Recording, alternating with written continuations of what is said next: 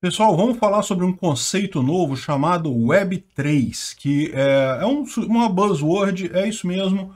O Elon Musk tem razão, ele disse aqui que o Web3 parece bullshit, e parece mesmo, mas vamos entender o que, que significa isso, porque para nós que trabalhamos com desenvolvimento de sistema, que trabalhamos com tecnologia, é muito importante a gente estar a par dessas tecnologias novas, mesmo que a gente não esteja usando elas diretamente, é importante saber o que, que é, do que, que se trata, porque isso pode ser um fator de decisão aí, a gente saber que existe isso, que está sendo considerado, né? Mas como vocês sabem, não é uma coisa... É, é, o que mais tem nessa área é, é bullshit mesmo. Aquelas palavras que o pessoal coloca, né? Igual metaverso. Metaverso, tem um monte de gente falando, o pessoal nem sabe o que, que significa isso. Bom, essa notícia foi sugerida por Eu Rust. Obrigado aí a quem sugeriu a notícia. Obrigado a você que está assistindo nosso vídeo. Se você gosta do nosso conteúdo, por favor, deixe o seu like, se inscreva aqui no canal, né? Então, é, é, é, muito comum na área de informática, em desenvolvimento de sistemas, todo mundo vê isso acontecer o tempo todo, cria-se uma buzzword, uma nova tecnologia, uma nova forma de ver a coisa, e todo mundo fica repetindo aquela buzzword, aquela palavra-chave, coisa e tal, a exaustão, porque você botar aquilo no projeto fica parecendo que seu projeto é moderno, coisa e tal, né? É, às vezes pode funcionar, pode ser útil, às vezes realmente é só uma besteira, não tem significado nenhum. Eu já falei aqui sobre o metaverso, expliquei o que, que é, existem várias concepções diferentes, então o pessoal fala muito de uma...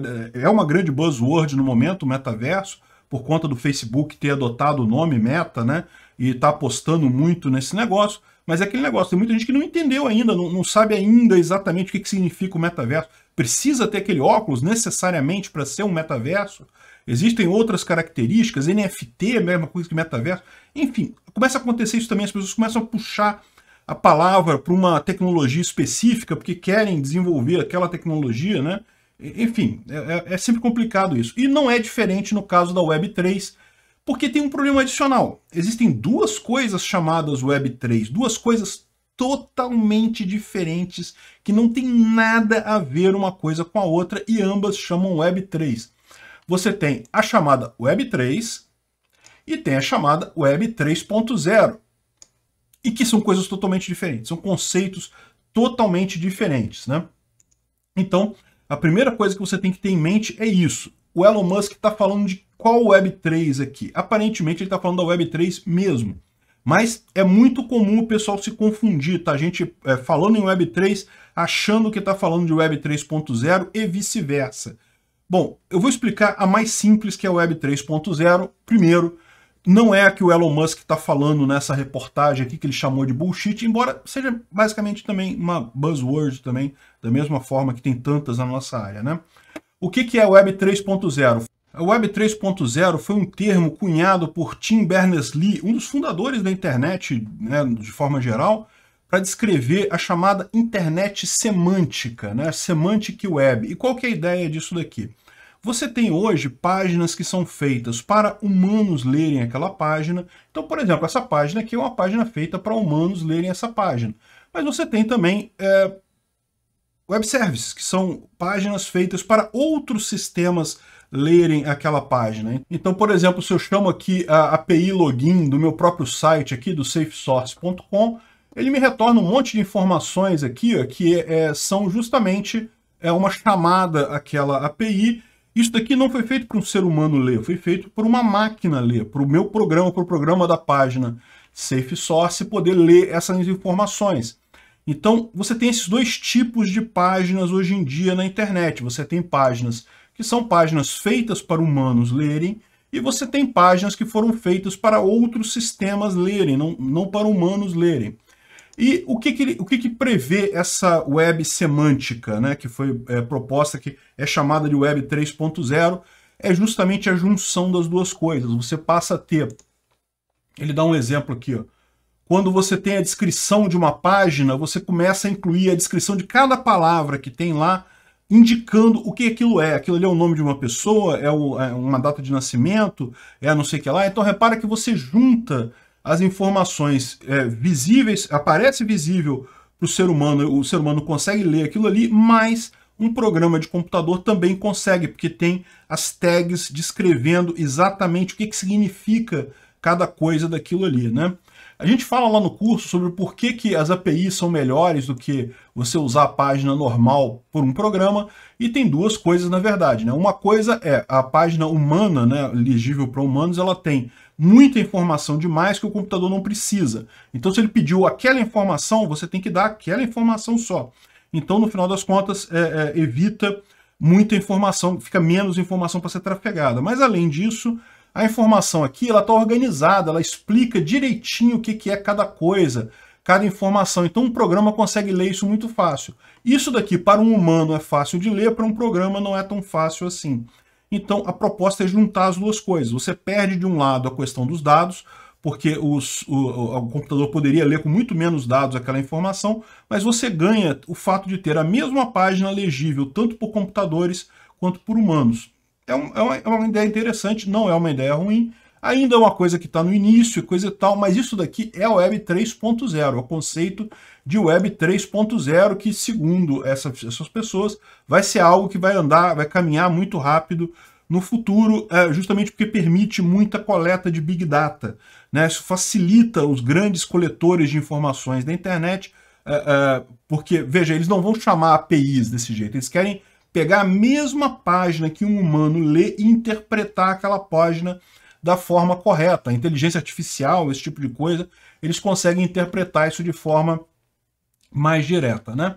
Enfim, então isso é o conceito de Web 3.0, mas não é essa Web 3 que o Elon Musk está falando. A Web 3 é um outro conceito que é a web descentralizada. E eu já falei aqui no, no canal também, quando eu falei da Filecoin, de é, E uma série de outras iniciativas que estão surgindo por aí. A ideia da internet descentralizada também está muito no início, não é nada que é, é, ainda sensível, tem alguns sites por aí, coisa e tal, mas ainda está muito no início.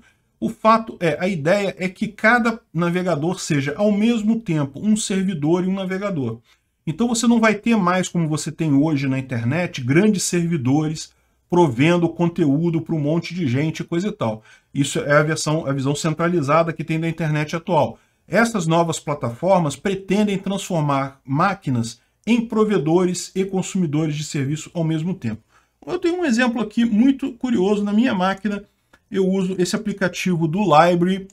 O Library, para quem não conhece, é uma rede descentralizada de produção de vídeos.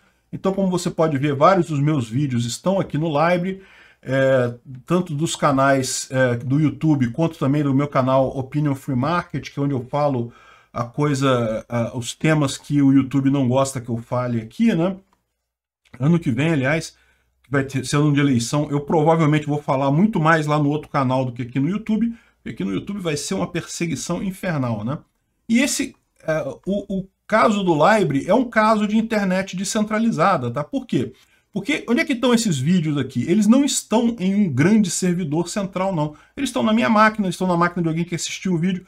É um protocolo parecido com o torrent, né? O torrent, no momento que você está baixando alguma coisa, ao mesmo tempo você está fazendo o seed daquela coisa, você está servindo como um fornecedor daquela coisa. Então, é daqui da mesma forma. Os vídeos eles estão na minha máquina, estão nas máquinas de quem assiste o canal, e com isso é, você tem uma rede que não tem um servidor central. Vamos supor que amanhã o, o governo americano queira censurar algum dos meus vídeos. Se ele vier no YouTube, ele consegue censurar, muito fácil, porque tá no YouTube, o YouTube tira do, do, do, servidor dele e acabou. Mas se quiser tirar outros vídeos mais complicados e coisa e tal, ele não vai conseguir tirar justamente porque está distribuído. Está em milhares de máquinas no mundo todo. Tá? Então tem essa, essa uh, frente aqui. Ele é um sistema descentralizado. Repara que não é um navegador isso daqui. Isso aqui é um aplicativo que roda na minha máquina que fica fazendo o seed dos vídeos. Né? E se você quiser acessar esses vídeos, você pode usar o site odyssey.com. O odyssey.com é basicamente uma versão web disso daqui. O odyssey.com ele é centralizado, tá? é um site normal como outro qualquer. Mas o que, que acontece nesse caso? Justamente ele está pegando os dados dessa rede descentralizada. Então, em tese, o governo pode derrubar o Odyssey, ele pode ir lá e pode derrubar o Odyssey, mas não consegue derrubar o Library. O Library continua funcionando aqui. Esse é um caso de Web 3.0, ou desculpa, Web 3, que é justamente o caso que o, o Elon Musk está falando nesse caso aqui. E segundo ele, parece bobagem, parece bullshit, parece que não funciona, não sei o que lá, não tem lógica. Eu discordo do Elon Musk nesse troço. Eu acho que ele não entendeu. Ou ele está falando da Web 3.0 sem saber, né? E como eu falei, isso é muito comum, são termos muito parecidos, as pessoas confundem. Ou ele está falando, ou ele não entendeu exatamente a ideia, né? Ou seja, eu, eu não acho não. Eu acho que é, Web 3 é uma coisa que tem um grande futuro, inclusive por conta de é, excesso de censura que existe nas plataformas convencionais. Então a tendência é justamente isso tudo é ligado a criptomoedas, como eu falei. Aqui na, na, na Libre é, você ganha criptomoedas. Quem quer anunciar no Libre pode pagar em criptomoedas é, o LBC para você anunciar. Então funciona muito como um YouTube descentralizado. E não é nem. É, olha só, de todas as plataformas alternativas, aqui eu tiro mais dinheiro é do Libre, tá? É, é o que gera mais dinheiro depois do YouTube. Aqui, por exemplo, isso aqui eu saquei mês passado, nesse momento eu tenho aqui uns dois mil reais, isso aqui equivale a uns dois mil reais em termos de, é, de créditos que eu tenho aqui, que eu posso sacar a qualquer momento. E é, ainda é muito longe perto do YouTube, né? O YouTube dá muito mais do que isso, mas é, é bem significativo, assim, tirando as outras plataformas, e você lembrando que é uma plataforma totalmente descentralizada, que eles não conseguem apagar de forma nenhuma, é algo bastante significativo realmente.